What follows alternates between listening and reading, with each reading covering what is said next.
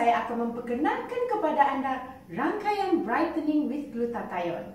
Rangkaian ini terdiri daripada pencuci, toner, pelembap siang dan pelembap malam.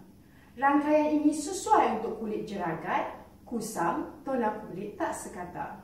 Selepas pemakaian selama dua minggu rangkaian ini, kulit anda akan kembali berseri dan sekata.